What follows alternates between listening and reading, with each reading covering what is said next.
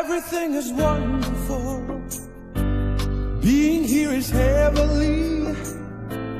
Every single day she sends, everything is free.